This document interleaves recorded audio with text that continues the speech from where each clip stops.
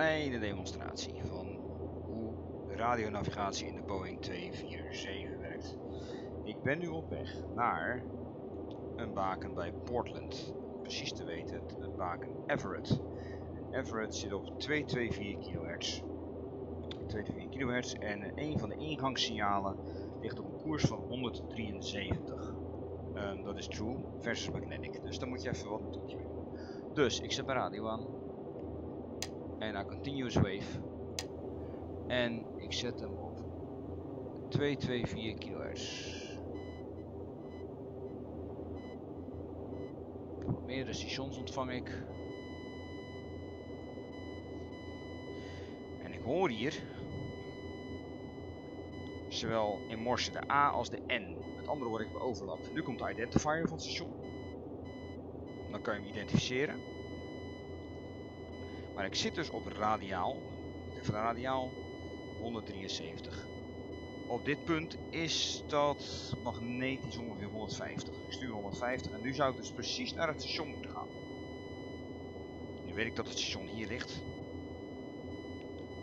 Ga je te ver naar links of naar rechts, dan hoor je dus alleen maar de A of de N in Morse. Dan moet je dus gaan kiezen. Nou, je weet doorgaans wat de vier radialen op het baken zijn. Uh, kan ik dat delen? Ja, dat kan ik delen. Een momentje. Uh, scherm delen. Zo. Kijk, zo is zo'n baken. Nou, stel even voor, dit is 173. Het is de koers erin. En dit zijn de koersen eruit. Allemaal erin. Je hebt hier de N, je hebt de A, de N, de A. En als er een overlapping komt. Oh, dat staat hier niet theorie. Als er een overlapping komt, dan krijg je de A en de N overeen. Dat is dus kort, kort, lang en lang, lang, kort. En dan, nou, krijg je dus één monotone toon.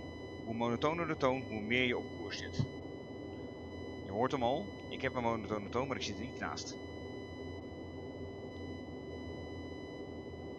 Ik wijk nu ook af. Dat is ook niet handig.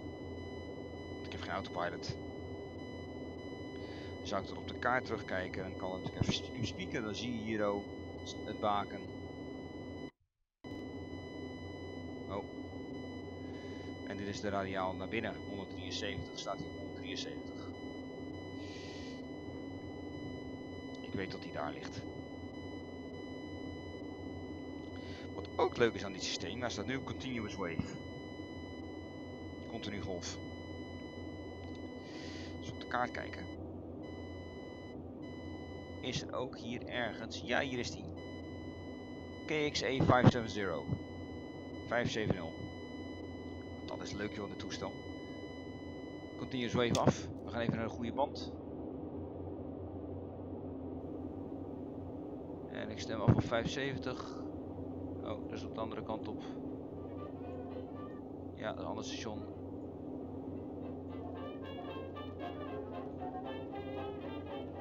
Continuous wave vang ik niks.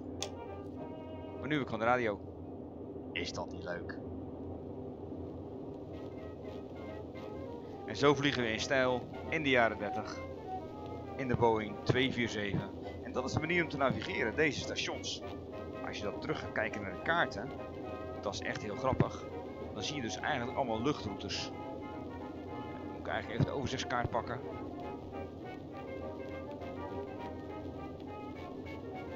Die zit ergens onder. Dit zijn alle stations en de coördinaten. Kijk, dit zijn de overzichtskaarten.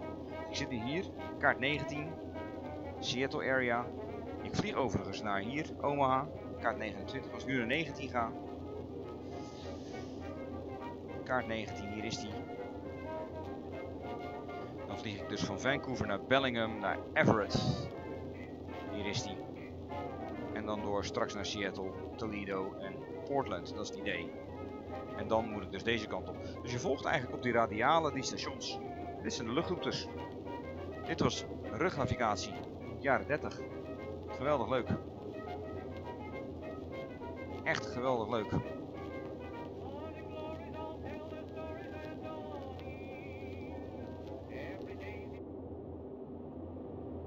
Twee, twee, vier.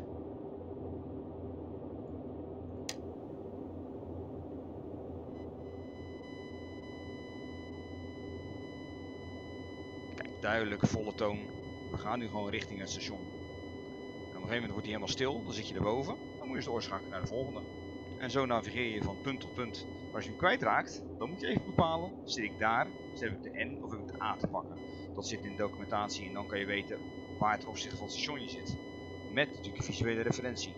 Dit was een beginsysteem, was verre van feilloos, maar dit was de eerste wijze waarop Amerika het voor elkaar kreeg om radionavigatie te doen. En dat waren de eerste in de wereld en dat, uh, dat heeft zich in windeieren gelegd.